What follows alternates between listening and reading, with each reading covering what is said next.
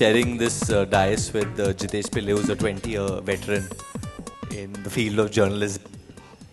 No, it feels uh, amazing. The first cover, जो पहला cover था मैंने अपनी ज़िंदगी में किया था, that's been for Filmfare. And uh, I don't do too many photo shoots because I'm very restless. But uh, whenever I get the opportunity uh, to shoot for Filmfare, this sound effect. This is a real alarm. This is a real alarm. कुछ चोरी होने वाली है भाई store में कुछ देख लो। होगी ये चो, चोरी।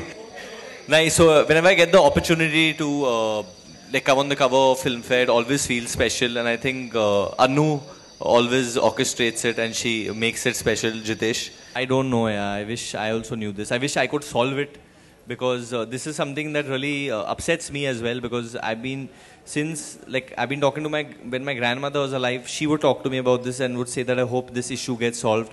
My parents talk about it. I hope it doesn't come to the stage where I'm talking to my children and we don't solve it.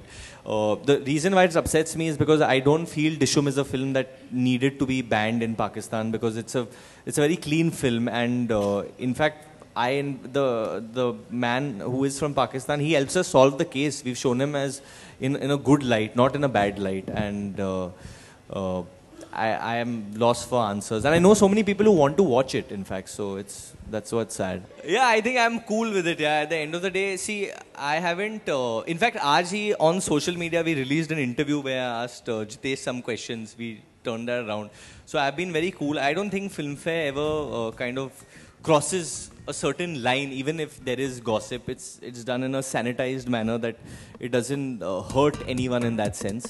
I think कभी कभार uh, जब कुछ जब बहुत ज़्यादा fake gossip होता है, then you become little bit like that. But I feel as an industry we are very close यार. At least Bombay में जो industry है बहुत close है. We all know each other. So कोई कुछ गलत या कोई कुछ controversial कर रहा है तो सबको पता है.